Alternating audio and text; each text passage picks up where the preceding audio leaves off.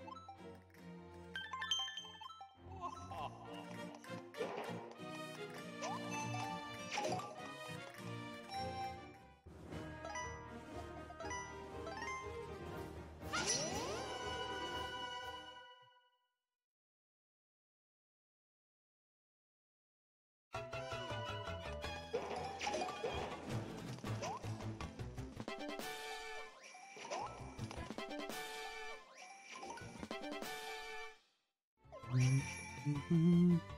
do, do, do, do. Kidding me?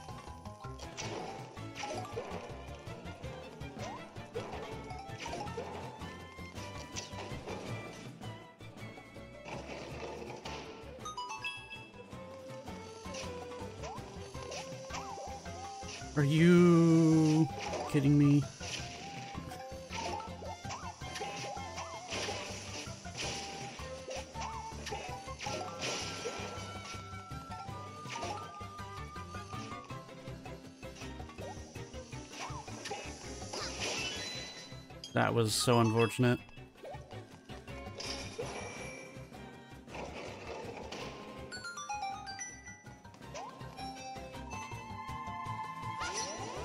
I guess it's my fault for putting them too close, but I didn't think that they would still grab it.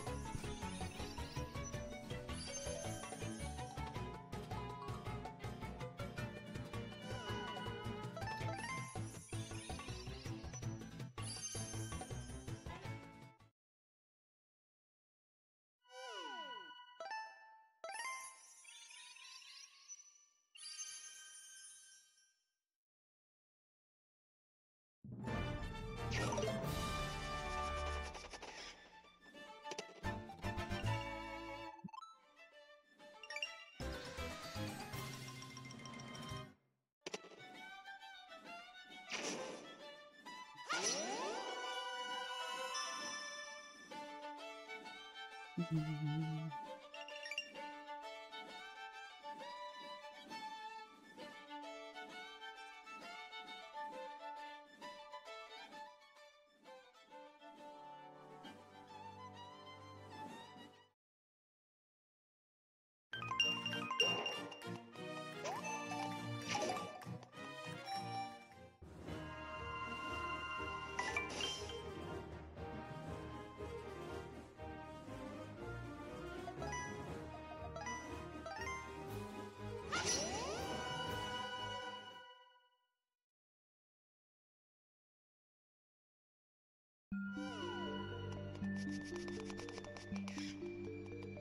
We'll be right back.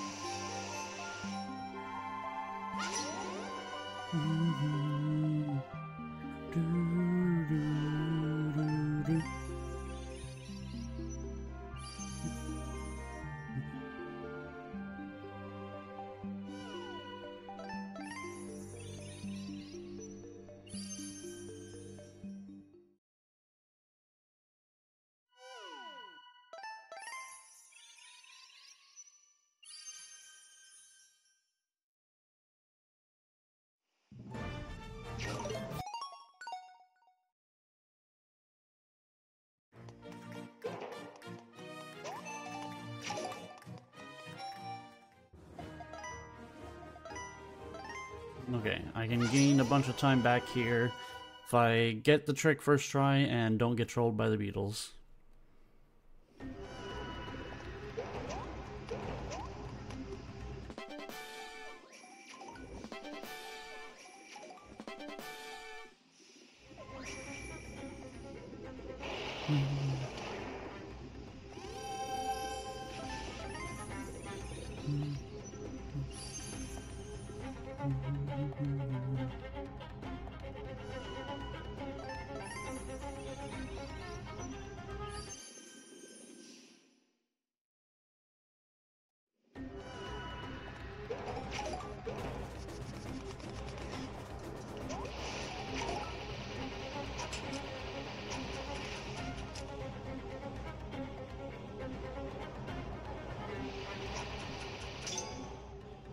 Okay, that's fine. As long as I don't get trolled now, I should be still okay.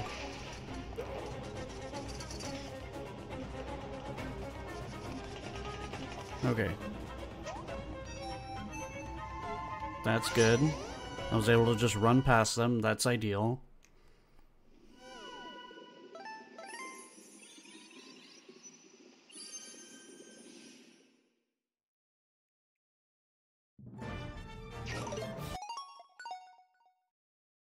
Now, if only I did the trick first try.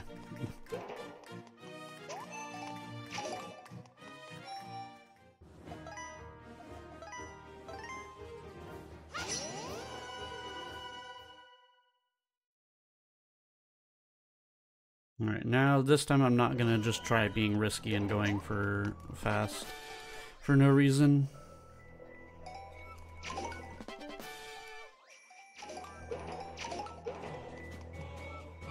Are you kidding me?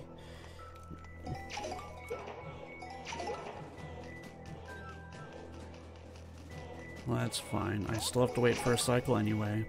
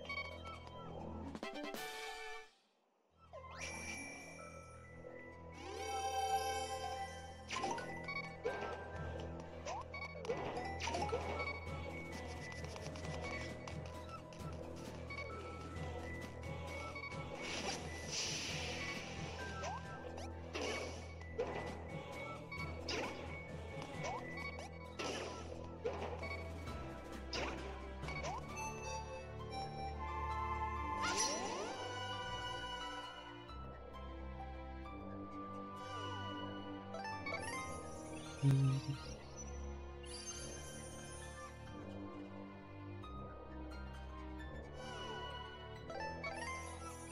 Any death in this run is a reset, by the way. Because I can't... If I die, I can't use the fairies to skip levels, so it's an immediate reset.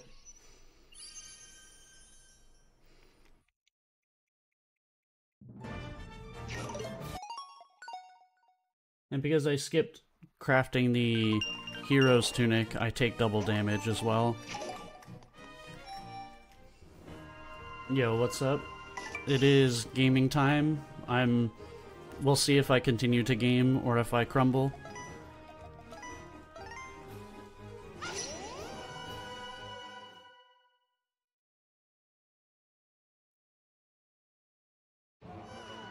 I did get like a 10 second PB earlier, but I beefed like 30 seconds of improvement.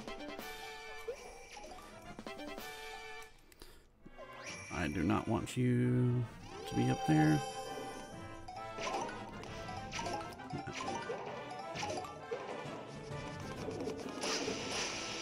Are you kidding me?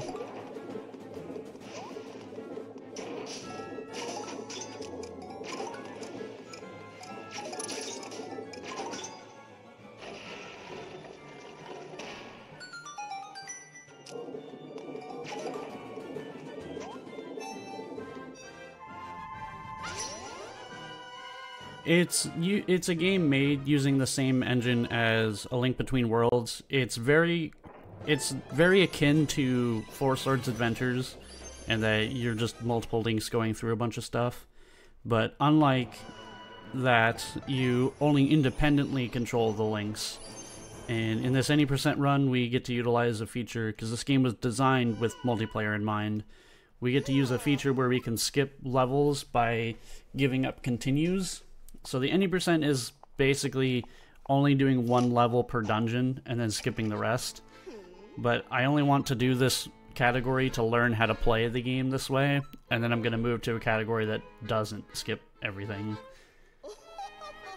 It's I played this with some friends back at the beginning of the year. And I say, like a multiplayer game, this was pretty fun. Single player, it is very tough. And especially the speed run is very tough because of how short it is and the fact that your fairies are your continues. If you die at all, you have to reset because you lose a fairy and you can't skip a level. Also, this cutscene I can't mash through or skip or anything. So I just have to watch this.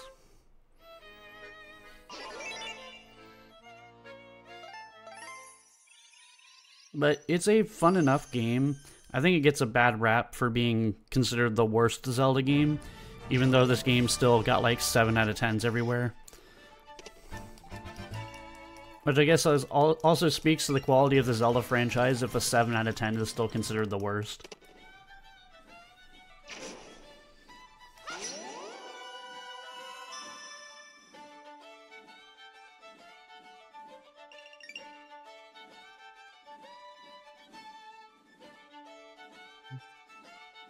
I think another reason why people don't like this game is for some reason Nintendo of America, while localizing this, just put a bunch of memes in the game.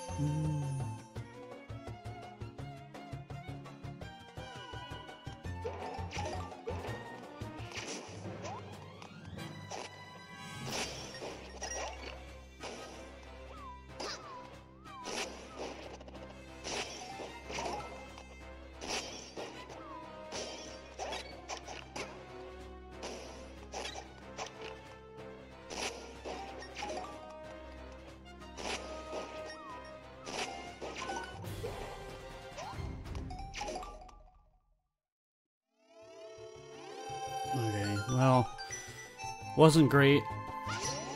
The way I wanted to do that level is have two links with hammers just take each side of the map. And just split and just keep jumping between whichever link has hasn't swung the hammer.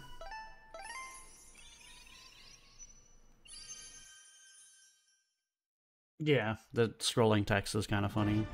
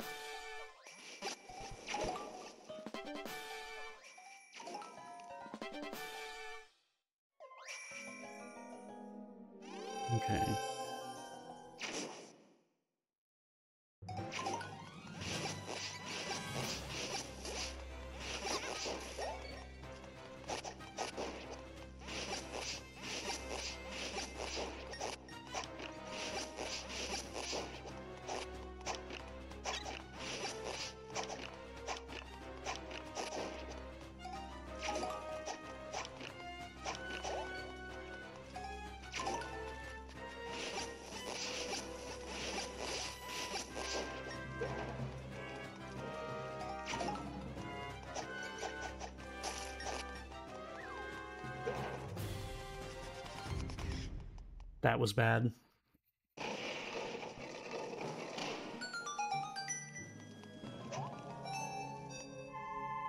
A lot of the run is like effectively swapping between the links and getting things done, and I'm still not the greatest at doing that part, which is mostly why I still want to. I'm still using this uh, not too extreme category to learn things, is so I can make less of those very basic mistakes.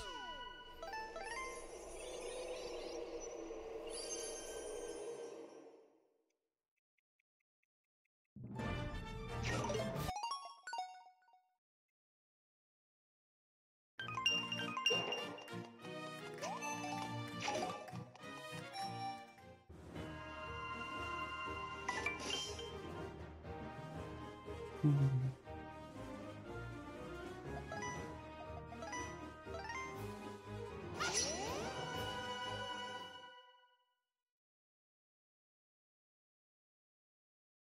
Okay.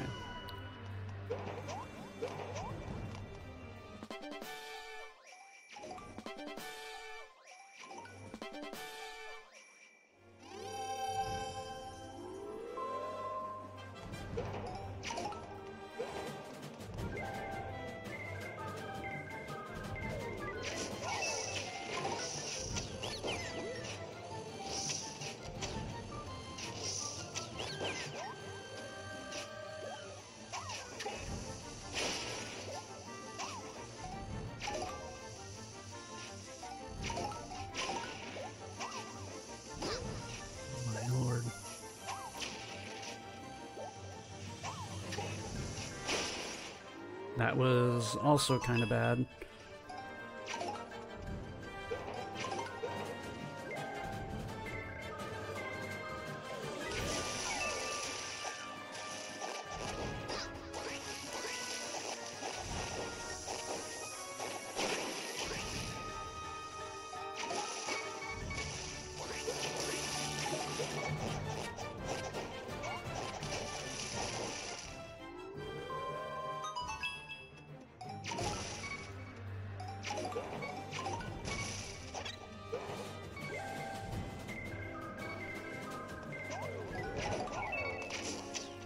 Hmm.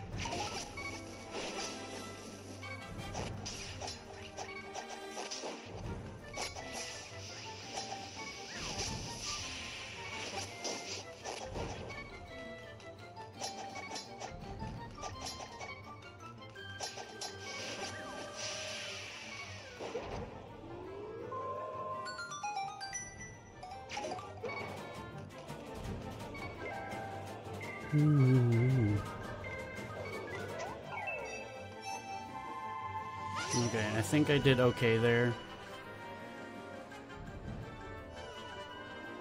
Still not ideal, but I think I did alright.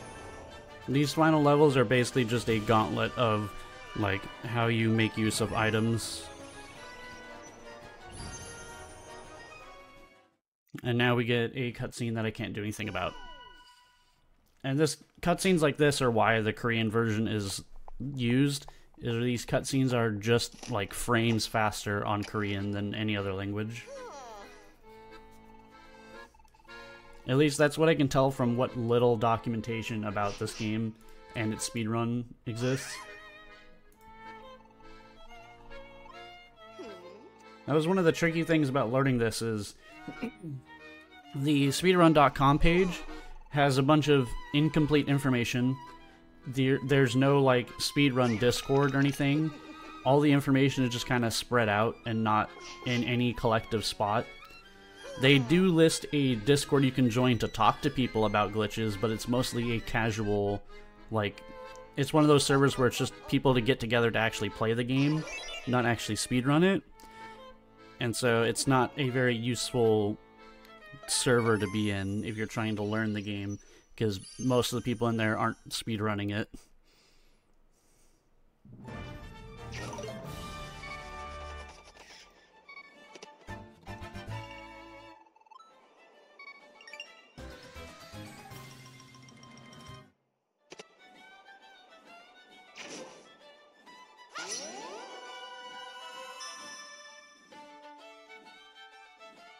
Well, there there are people who run it. Like this any percent run has like I think 13 people.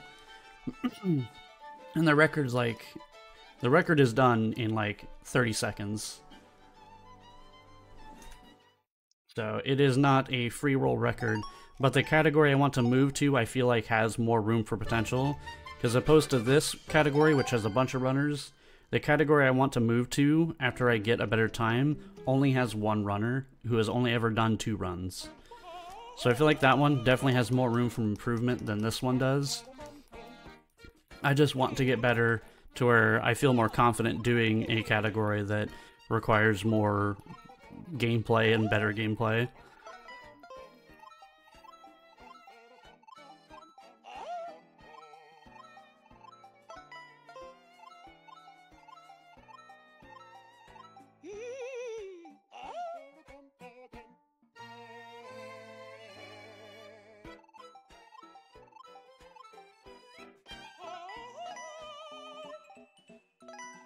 I keep...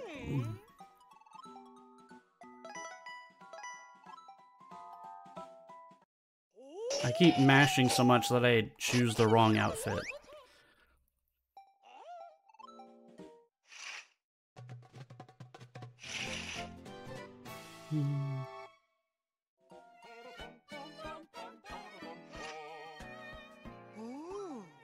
Yeah, my goal is I want to get a 24 minute time before I move on, which I think I could do. I want to see what, after this run, I'm going to check to see what my sum of best even is.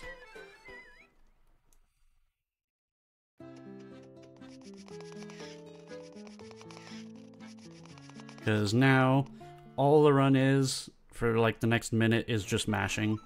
Because it's just text boxes.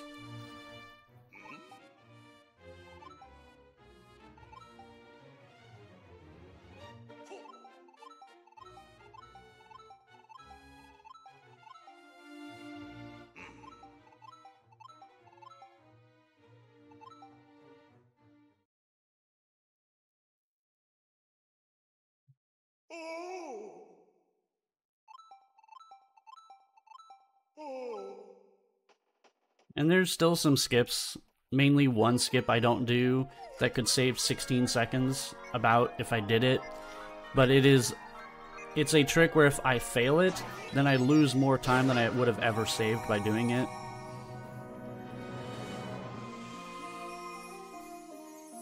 And it is only in the second dungeon, so it's not like resetting it over it is a massive deal. It's just an annoyance where if I spend a bunch of time grinding for it, then it would just drive me insane. Plus, not even the second place person on the leaderboard even does the skip, so it's not like I need it to get a 24 minute time. It would certainly help, but it's not needed if the second place doesn't even do it.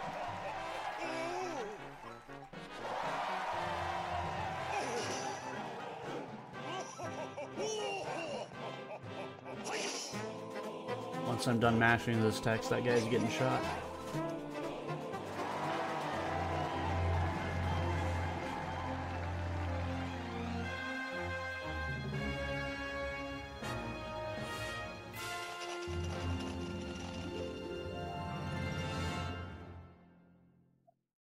Yeah, yeah, yeah. Get out of here. The guy's profile picture was also a Pepe frog. Alright, let's see here.